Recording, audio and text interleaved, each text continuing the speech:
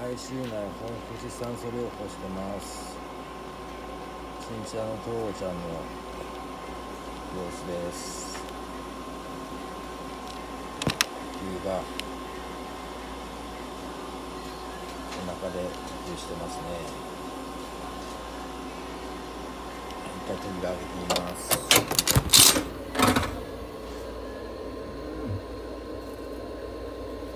はいどうですかどうですか？はいどうですか？お偉いぞちょっとずつ食べるようになってきてますねつまし。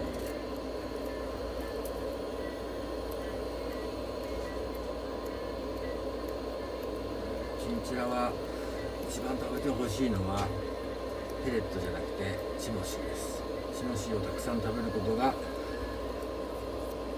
大事なんですよね。はいどうぞ。よしよしよしもうになるね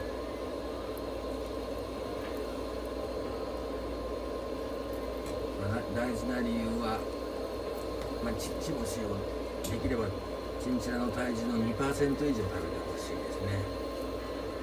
で食べてほしい理由としては3つありまして1つは不正咬合の予防です。前歯でカットして奥歯ですするようにしてチモシを食べることによって不正咬合が予防できます。もし不正咬合が起きてしまうと、まあ、口内炎ができたりとか歯の根っこを歯根膜が生んできて歯根膜が起こしてしまいます。そうするとまあの脳性の白い目やにが出たり顎の下が生んだりしてきます。それはなかなか治らないですね。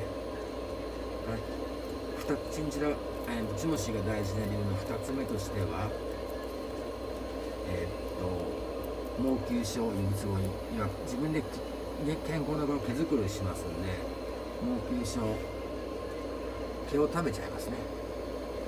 それからまああっちゃいけないけど異物を食べちゃった場合にもあの今食べてるチモシは繊維が35%以上ありますからその高繊維のものを食べることによってまあ胃の中に入った毛とかを便に流しやすくします。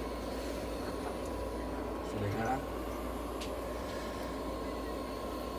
硬いのは食べないかな。3番目。3番目の理由としましては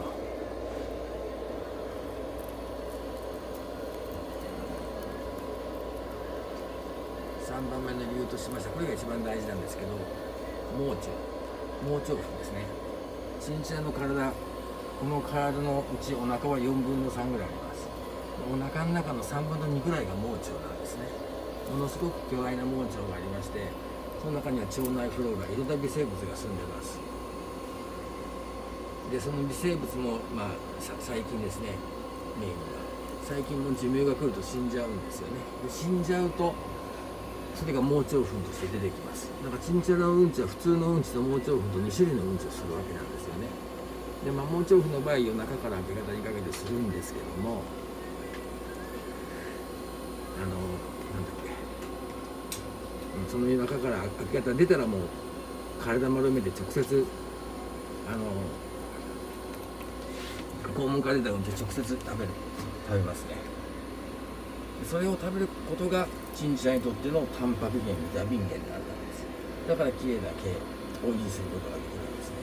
反対に食べ物にタンパク質が多いものを取ってしまうといい腸内環境が悪くなるんでいい盲腸糞ができません。だからまあ粗食ですね。チモシイネ科の干し草をやるのがいいかと思いますね。だから反対にマメ科の干し草アルファルファはもう本当に若い時だけ生後12ヶ月の時だけならやってもいいけども3ヶ月4ヶ月過ぎたらやらない方がいいかなと思いますね。